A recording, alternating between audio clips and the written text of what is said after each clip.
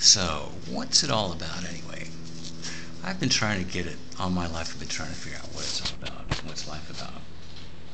I think it's about, well, it's like Oprah says, we're in school, or treat life as though it were school. Might help you.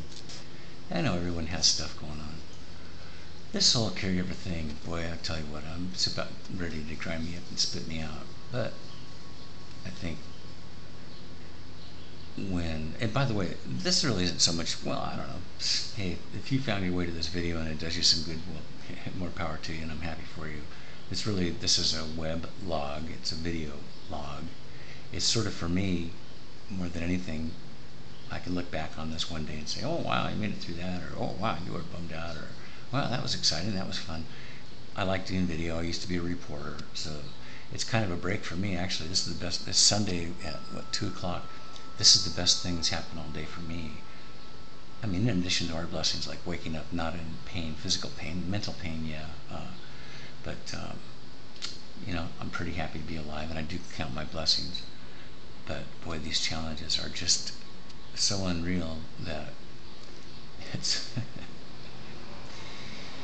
it's when times get tough, that's when you gotta just, I don't know, stick to it, I guess. But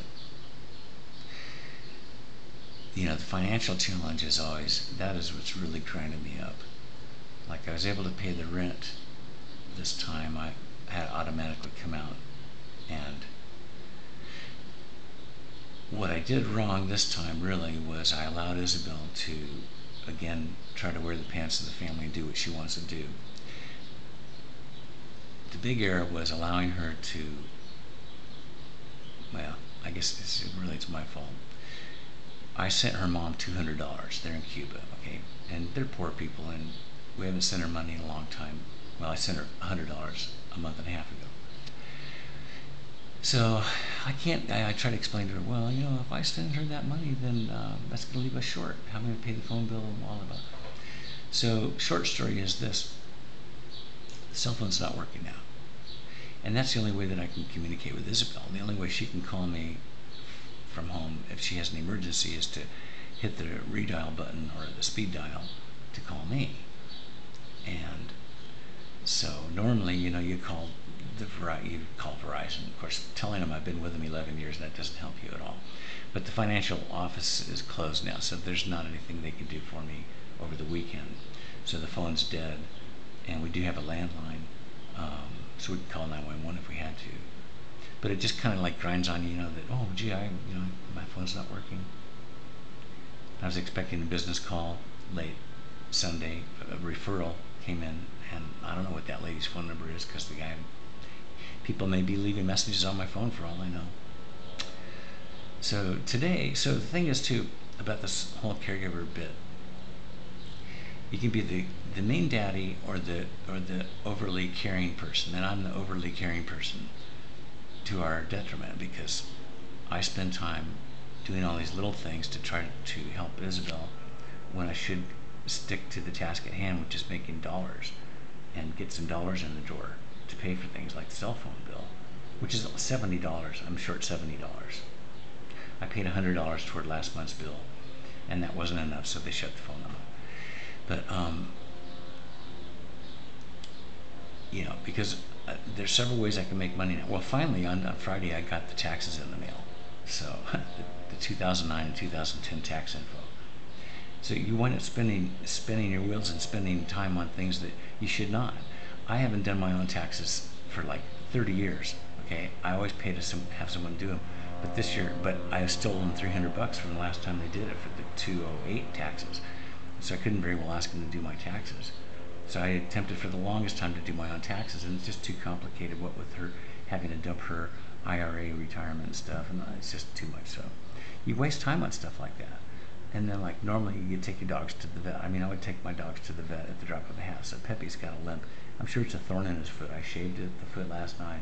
I looked at it. I can see where maybe he's got a thorn festering. I'm, I'm trying to. I'll work on that in a while. But that's all stuff that eats up your time. I would have normally had him in the vet. The first hint of a problem on Thursday, but I can't do that. Uh, so it's just unreal. I, you know, it's like when your life gets so darn heavy, it just starts going downhill faster and faster. It gains momentum. So for me, I have to try to keep my head above water. And oh, there's there, see now there's some joy in life. At the bird at the bird feeder out there, I see two orioles. Uh, well, a male and a female. The male's the bright red guy. They're bright yellow. I mean, my mom always loved those guys when they came. And so you got to find joy in life, and I do find joy in life. There's lots of joy all around all the time. But boy, have I lost contact with God. I used to go to church every Sunday, and that always recharged my batteries.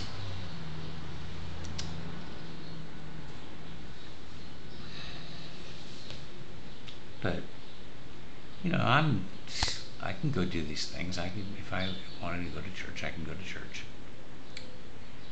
And if I want to pay the cell the cell phone bill, I, I'm going to figure out how to pay it. I've got a bunch of aluminum cans. I've never gone to the recycler before, but I got a shitload of aluminum cans out there.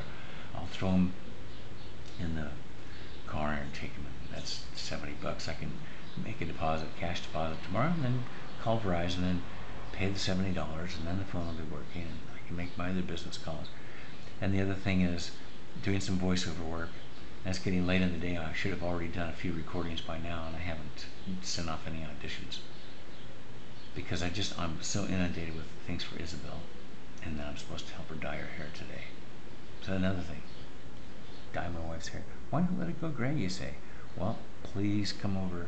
We live at 1921 South Warren in Oceanside. Please come over and explain to my wife why she should just let her hair go gray. I, I would like to see that. Mm-hmm. Uh, she doesn't understand anything I'm saying. So, but there are a lot of blessings. You know what? Like, and I'm not in pain. I'm not in physical pain. I'm in. I'm pretty much mentally tormented a lot of the time, but I'm not in physical pain, which that sucks when you're in pain, right? And uh, nobody died today that we know of, and all of our doggies are healthy, basically. So life is good. The hardest part is, for me anyway, is I feel like I'm kind of like continually being judged by Isabel, and it's not so much that I'm looking for approval. It's just that I don't really like or appreciate the disapproval. I just wish the disapproval would go away. I'm not looking for approval. I don't care about fun stuff for me to do or anything. I'm not coming from a selfish thing. I'm not really trying to complain to anybody. Uh, and I know things will improve and things will get better. And um, maybe I just can't see it right now. Like if I knew that on tomorrow afternoon I was going to get a call from my agent that, yeah, you got that $750 gig for the internet commercial, that'd be great. You know, I had a good audition on Thursday, and stuff like that happens, and so then that makes you happy. So, so, but it's probably important to not be so terribly elated when something really good happens, and try to be more on an even keel, and and then you know maybe that helps you ride through the rough parts because I mean I mean it's it's it's difficult. It really sucks. It's bad. It's fuck. It's it's uh, fundamentally I started to say it's fundamentally hideous. Um, but there are a lot of people that have a lot worse problems than we do. Like I didn't get a call last week that my son was killed in Afghanistan. What would that be like? Can't even imagine. So, all in all, life is really very good. We just sometimes forget to see it for what it is, that it is good, and there is joy. Joy to the world. Boy, I should have been a singer, don't you think? Okay, so Ricky G here. I'm just talking to myself. You know.